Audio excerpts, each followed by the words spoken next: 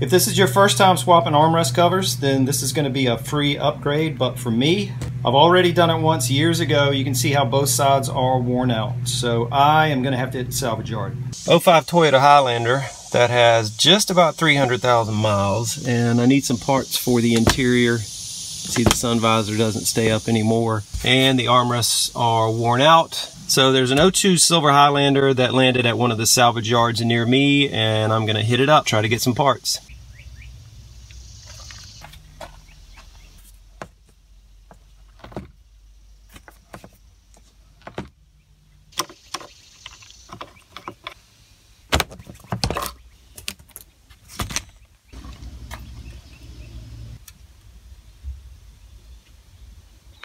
I did get two armrests also, but I was not able to film that because my phone shut off, it overheated. What you're looking at now is the top sides of both of those armrests, driver side, passenger side. You can see how the leather is cracked. But what I'm gonna do when I install them is switch them up so that we see the underside, see how much better that looks. Third brake light, I don't know if that's gonna be part of this video. That might be a separate video, but we'll see.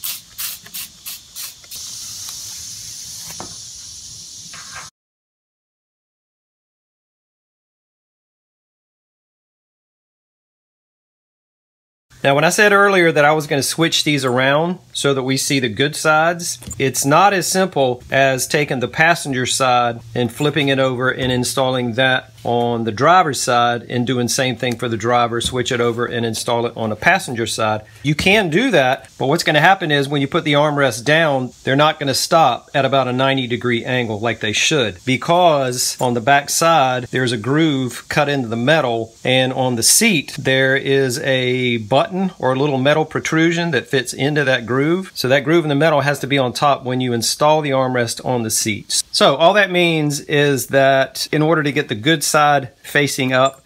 We're going to take the cover off the passenger side armrest, flip it over and install it on the driver's armrest. And then the same thing vice versa. The driver's armrest cover goes on the passenger side armrest. That's the only way it can work and have it work properly. Have that armrest stop at a 90 degree angle. The trade-off is that when we take the cover off and flip it over, we're going to see more of the seam that has the zipper. You can see how it's shorter here. What we're going to be seeing are these sides.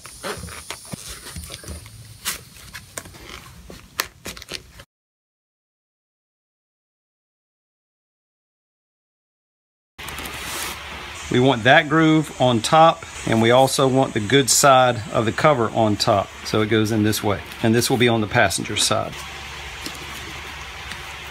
and this will be the armrest for the driver's door. So now, instead of seeing this, we're gonna see this.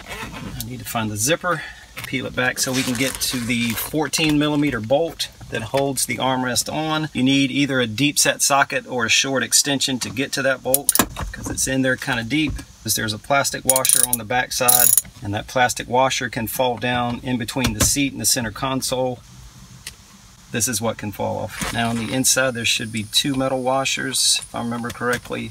And yes, there are. And then here's the pin that I was talking about, that metal pin that fits into the groove. And that pin being in that groove is what stops your armrest right here. So peel back the cover, put the bolt through the hole, make sure you have the plastic washer on the back side with the flat side of the washer facing the seat.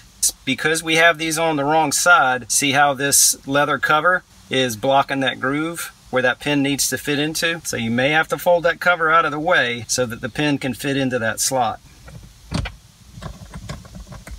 See how it's stopping? That means the pin is in that slot. If it wasn't, this arm would fall all the way down. So I just need to tighten that up.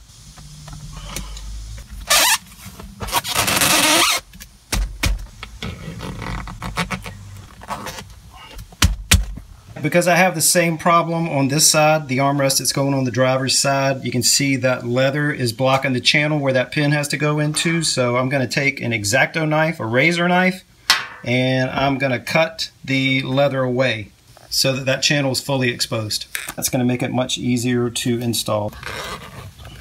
Fold it back so we can get to the bolt. Again, it's 14 millimeter, and again, you'll need an extension or a deep socket. Watch out for the plastic washer on the inside. Don't lose that. And there it is. Put that plastic washer on. I think I'm in the groove. Maybe it's got to be a little bit tighter. Let's see. That's as tight as it'll go. All right, why are we so loose? Let's see what's going on with this one. Let's get it back off. I think I found the problem. This washer, which I hope you can see is not perfectly flat, this had fallen out on the floor. So that needs to go on because something wasn't right because even with the bolt as tight as it would go, the arm wasn't on tight and I can tell already that it is. So watch out for that washer that's not perfectly flat. There's a little bit of a curve to it. And as careful as I was, it had slipped out and fallen in between the seat and the center console. And there we go.